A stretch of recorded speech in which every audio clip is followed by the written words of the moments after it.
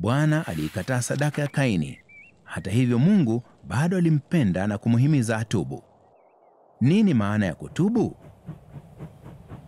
Tuseme unataka kusafiri hadi mji fulani. Ukiingia kwenye gari, unatambua umeingia kwenye gari usilokusudia. Unafanya nini? Unalikubali kosa lako, unatelemka kwenye gari hilo na kupanda kwenye gari sahihi. Hiyo ndiyo maana ya kutubu. Maana ya kutubu ni kubadili mawazo yako, kuondoka kwenye kosa na kunyenyekea kwenye kweli. Kutubu mbele za Mungu hakuna maana kuwa lazima nijiadhibu kwa dhambi zangu na kuiona dhambi yangu kama anavyoona Mungu. Mungu alitaka Kaini atubu, aache kuamini njia yake mwenyewe na aamini na kufuata njia ya Mungu. Kaini akaghadhabika sana, uso wake ukakunjamana. Bwana akamwambia Kaini, kwa nini una ghadhabu?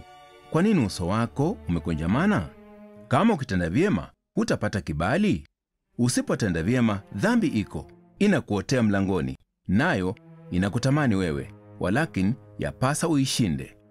Kaini alikuwa na kiburi mno, hakuweza kutubu. Alikuwa ameaibishwa na nduguye. Alitaka aondoe aibu hii na arudishe heshima kwa njia yake mwenyewe. Kaini alimwambia Habili nduguye, twende uwandani. Ikawa walipokuwepo uwandani, Kaini akamwinukia Habili nduguye akamuua.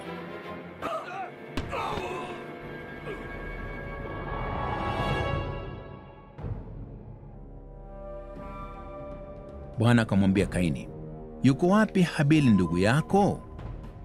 Akasema, sijui, mimi ni mlinzi wa ndugu yangu. Bwana akasema, umefanya nini?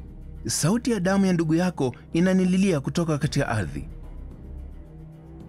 Nafsi na roho ya Habili ilikuwa pamoja na Bwana, lakini mwili wake ulirudi mavumbini hadi siku ya baadaye Mungu atakapoyabadilisha haya mavumbi yawe mwili wa utukufu unaofaa kwa milele.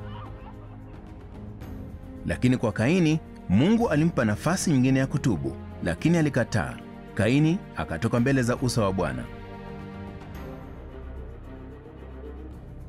akiwa na roho ya kuasi na kiburi. Kaini alikwenda mashariki akajenga mji.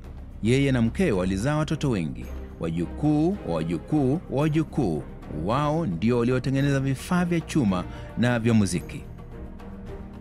Uzao wa Kaini ulikuwa na akili nyingi, lakini hawakumjua Bwana.